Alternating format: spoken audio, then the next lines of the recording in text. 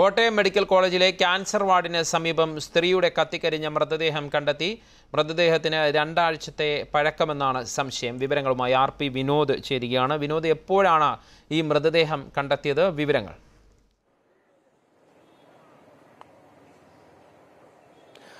Kottayam medical കോളേജിലെ cancer വാർഡിന് സമീപമുള്ള മാലിന്യങ്ങളൊക്കെ നിക്ഷേപിക്കുന്ന സ്ഥലത്ത് നിന്നാണ് ഇപ്പോൾ ഈ മൃതദേഹം കണ്ടെത്തിയത്. ഉച്ചയോടുകൂടി ഇവിടുത്തെ ശുചീകരണ തൊഴിലാളികളാണ് ആദ്യം വലിയൊരു കാർബോർഡ് പെട്ടി കണ്ടത്. അത് അതിൽ ദുർഗന്ധം വമിക്കുന്നുണ്ടായിരുന്നു. തുടർന്ന് അവർ ആശുപത്രി അധികൃതരെ അറിയിച്ചു. പിന്നീട് ആശുപത്രിയുടെ ഉദ്യോഗസ്ഥരെ മറ്റും വന്ന് നോക്കിയപ്പോഴാണ് ഒരു മൃതദേഹമാണെന്ന് കണ്ടെത്തിയത്. പ്രാഥമിക പരിശോധനയിൽ ഇപ്പോൾ മനസ്സിലാക്കാൻ സാധിക്കുന്നത് ഒരു സ്ത്രീയുടെ മൃതദേഹമാണ്.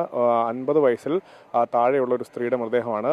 രണ്ടാഴ്ച പഴക്കമുണ്ടെന്നാണ് ഇപ്പോൾ പോലീസ് പറയുന്നത്. ഏതായാലും ഇപ്പോൾ കോട്ടയം എസ് പി ഉൾപ്പെടെയുള്ള പോലീസ് ഉദ്യോഗസ്ഥർ ഈ കോട്ടയം മെഡിക്കൽ കോളേജിൽ എത്തിയിട്ടുണ്ട്. അവർ ഇപ്പോൾ ഈ ഒരു താഴ്ന്ന പ്രദേശത്താണ് ഈ മൃതദേഹം കിടന്നിരുന്നത്. അത് വളരെ ശ്രമകരമായ രീതിയിൽ ആണ് എടുത്തത്. എടുത്തതിന് ശേഷം ഇപ്പോൾ ഫോറൻസിക് വിദഗ്ധരും അതുപോലെ തന്നെ പോലീസും ഈ മൃതദേഹ പരിശോധന നടത്തുകയാണ്.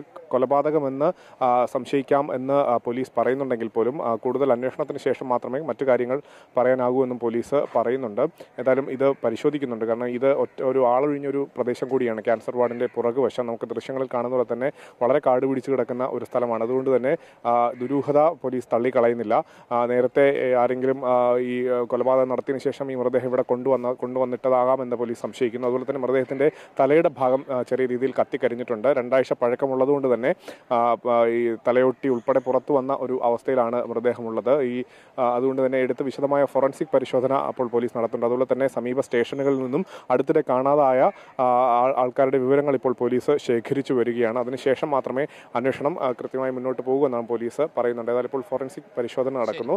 മറ്റ് കൂടുതൽ അന്വേഷണത്തിന് ശേഷം എന്താണ് ഇതിന് സംഭവിച്ചതെന്നുള്ള കാര്യം വ്യക്തമാകും. അൻഷാദ്.